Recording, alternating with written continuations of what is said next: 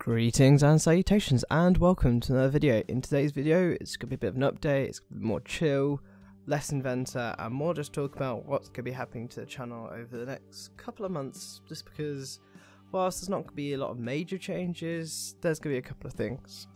So in regards to the ACP that I was planning to do in the start video, that's going to be delayed partly because the course as a whole is changing from is it? This this objective to uh, also certified professional for mechanical engineering, in design and manufacturing, and actually uh, um, Autodesk for mechanical design as well, um, inventor. Oh, I'm chewing my words today. But overall, yeah, but the change of the specs, there's no point in making something that's going to become obsolete. Also because there's a couple of things that I need to work on as a whole and that I need to work on because I don't really use iParts. I don't use the design accelerator. I don't use shrink wrap. I don't use precision representation.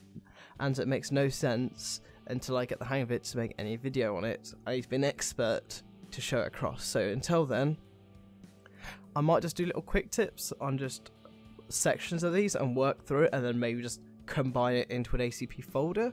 That's a potential because it means I can work through one part at a time.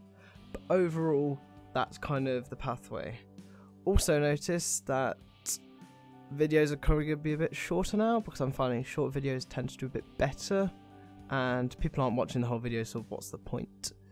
And so I'm going to probably doing more quick tips and shorter style videos. Firstly because they're shorter to edit and secondly they'll probably serve people better because people just want the information and grab and go.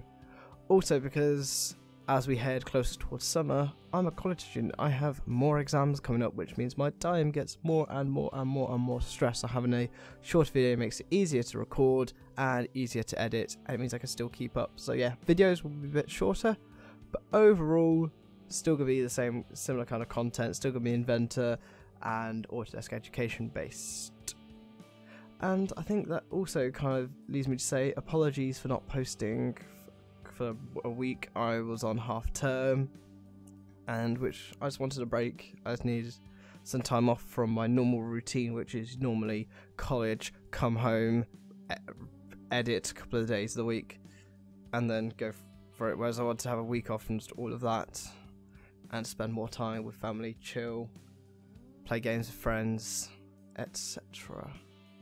And also, this is also just an update on how kind of I record and edit my videos because normally on a Sunday, my brother and family go out the house because my brother plays football, which makes it very easy for me to record because nobody else is actually in the house, uh, which can make noises because this condenser microphone picks up everything. So a quiet house makes it super easy to record.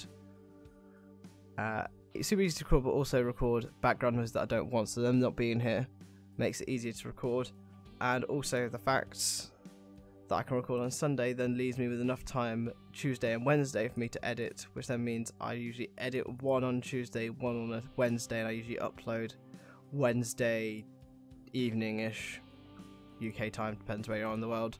I know a lot of my viewers are from the US, and so yeah, then I edit and then I upload Sunday, and then so I kind of the rest of the week off. I do twice a week. So if I go to once a week, apologies. That's my time being strained, but I'll try and keep it up.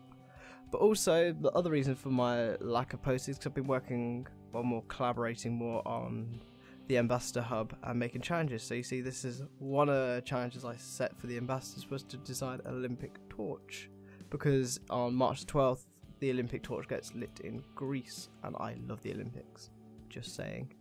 So I've set them the challenge of, hey, make a torch, design it. You don't have to include the burner, but just make kind of make a shell of it. And so that's what I just did as part of the demo and uploaded that. So more of my time's been spent on the education side, but also I'm still active on the forum. So if you do ping me, I will respond relatively quickly, within reason. So yeah, thank you for listening. Thank you for listening. I'll see you next video. Goodbye.